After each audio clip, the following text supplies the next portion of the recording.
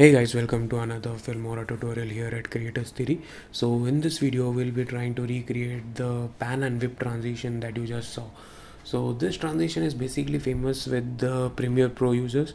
Uh, so there was uh, no really tutorial available for Filmora, so I decided to create one for the channel. So let's get started.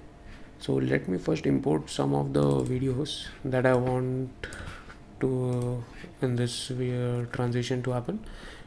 So let me drag them into the timeline. Okay let me match to the media.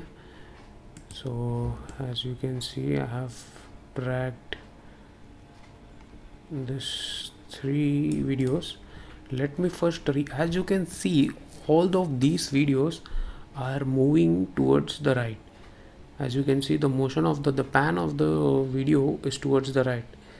And even in the second video this is towards the right. Let me see the third video. Yes this is also towards the right. So as you can see all of their motion is towards one direction. So this is very important thing to note while uh, creating a uh, pan and whip transition all the motion of the all the three videos which you want uh, the pan and whip transition to happen between should be in one direction. So this will create a flow and the cinematic loop that you just saw in the example uh, in the beginning of this video. So let me just rearrange so that it better connects with the story. So let me just cut this over here and uh, let me just cut this over here.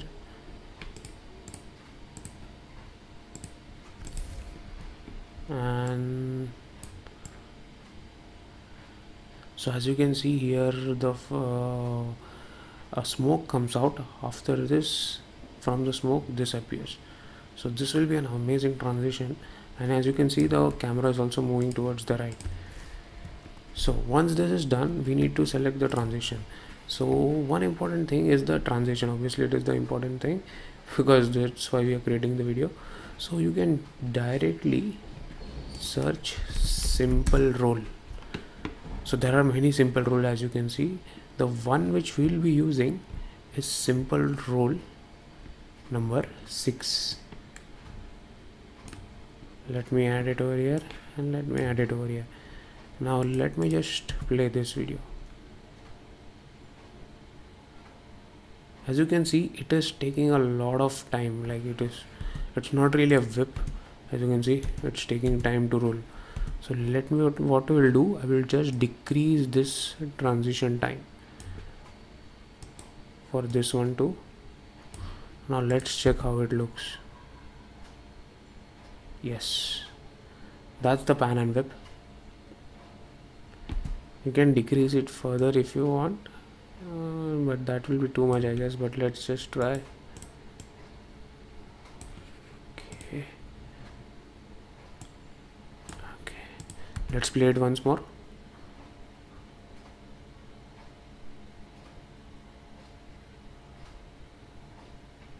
So that's amazing. And a whip sound in between these transition would be an amazing uh, add-on to the cinematic uh, transition. So that's it guys with the whip and trans uh, whip pan and whip uh, transition that you just saw. Hope you guys like it. We, we have created more awesome filmora tutorials in this channel. So if you want to look uh, look more into more videos you can click over here in the top right corner. And if you like this video do consider subscribing to our channel because it takes a lot of efforts creating these videos. And like this video if you like the content. And see you guys in the next video. Till then See ya.